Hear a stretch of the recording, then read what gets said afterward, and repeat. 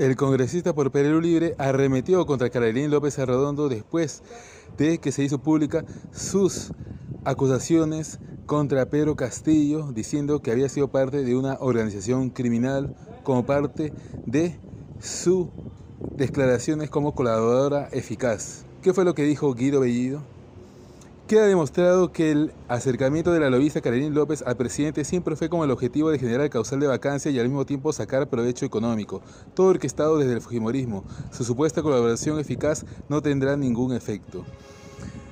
Efectivamente, Karenín López Arredondo fue una persona que en su momento estuvo ligada a Keiko Fujimori, financió la campaña de Keiko Fujimori porque quería hacer sus negociados con Keiko. Siempre fue sospechoso que alguien que financiara Keiko Fujimori quisiera acercarse a Pedro Castillo o a su gobierno.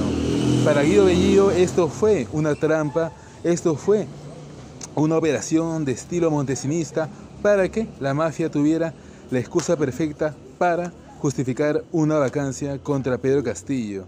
Además hay que decir que cualquier acusación que se haga ¿no? tiene que ser verificada. Me parece increíble leer a mucha gente de la oposición diciendo que el Congreso debería sesionar mañana y vacar a Pedro Castillo. Y lo peor de todo, de forma descarada, dicen que la vacancia se debe hacer siguiendo el debido proceso. Es increíble el cinismo de esta gente. Si ustedes hablan de debido proceso, entonces se tiene que verificar todo lo que dice Karenín López Arredondo. ¿Cómo es posible que simplemente por unas declaraciones ya estén dando un veredicto de que Castillo es culpable sin haber verificado todo lo que dice? Porque si esta señora está mintiendo como parte de una operación política de los golpistas, ya lo he dicho antes, se tiene que ir presa.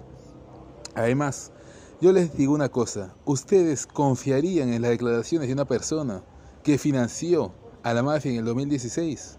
A una persona que quería llevar a Keiko Fujimori al poder para hacer sus corruptelas y faenones? ¿Usted confiaría en las declaraciones de esta persona?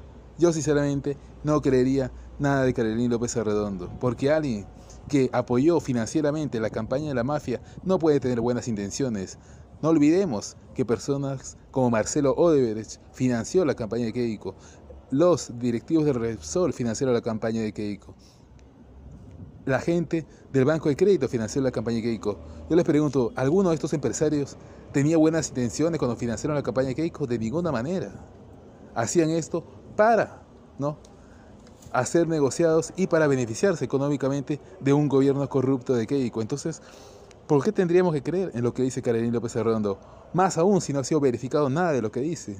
Pero esto es parte de una operación política, porque ya gente de la oposición están diciendo de que mañana mismo tienen que vacar a Pedro Castillo por estas declaraciones.